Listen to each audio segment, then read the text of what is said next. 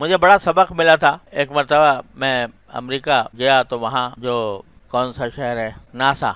तो वो ह्यूस्टन में। तो वो हमें नासा दिखाने के लिए ले गए, जहाँ पर के सारे खलाई जहाज़ों का वो हेड क्वार्टर है। वहाँ से खलाई जहाज़ उड़ते हैं और पूरे सैारे सारे फजा में जो है वो वहीं से निकाले जाते हैं। और वहाँ न कोई उस ज़माने में कोई पुलिस थी, न कोई फौज थी, ना कोई सिक्योरिटी के इंतज़ाम थे, कोई ख़ास। और ले जाकर एन हमें बिल्कुल ऑपरेशन रूम के अंदर, के बाद पास खड़ा कर दिया। लेकिन जब हम दाखिल हो रहे थे तो वहाँ एक बोर्ड लगा हुआ था। उस पर लिखा था यू आर वॉच्ड तुम्हारी निगरानी हो रही है। बस।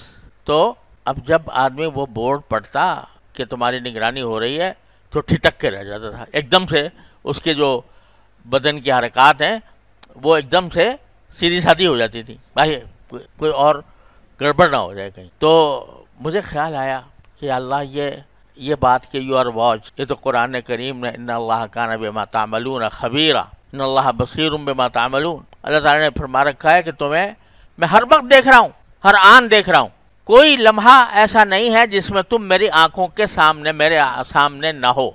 तो बाप आ जाता है तो रुक जाते हो। भाई आ जाता है तो रुक जाते हो। कोई इंसान आ जाता है जो तुम्हारा दोस्त हो या जिससे तुम जिसके तुम ये चाहते हो कि इसके ऊपर मेरी बुराई ज़ाहिर ना हो वो आ जाता है तो रुक जाते हो। लेकिन वो अलीम खबीर जो हर आन देख रहा है उसके बारे में क्यों ख्याल नहीं आता? वजह क्या है? ताल्लुक की कमज़ोरी है। जितना ताल्लुक बाप से है उतना अल्लाह से रहे नहीं जितना इस्तेजार बाप की रजामंदी का है माँ बाप की रजामंदी का है मखलूक की रजामंदी का है उतना अल्लाह ताला की रजामंदी का ख्याल नहीं है, उसकी फ़िक्र नहीं ये वजह है जिसकी वजह से बावजूद इसके कि आदमी ईमान रखता है, यकीन रखता है कि अल्लाह ताला मुझे देख रहा है और इस बात का ईमान रखने के बावजूद वक्त पर यह खौफ उसको गुनाह से नहीं बचाता।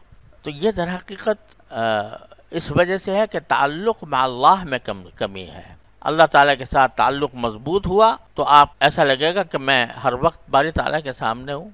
और यही माना है अनताबुदल्लाह का अन्ना का तराह फ़िल्म तक उन तरा हो फ़िन हो यरा अल्लाह की इबादत इस तरह करो जैसे कि तुम उसे देख रहे हो। और अगर तुम उसे नहीं देख रहे तो कम अज कम ये तस्वुर तो बांधो कि वो तुम्हें देख रहा है। नमाज़ पढ़ो तो ये तस्वुर होना चाहिए। घर में तनहा हो तो ये तस्वुर होना चाहिए। किसी के साथ मामला कर रहे हो तो ये तस्वुर होना चाहिए।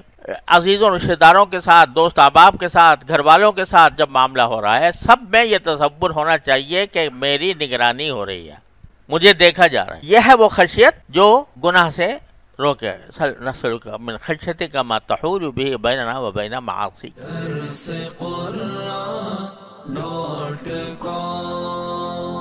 www.dasquran.com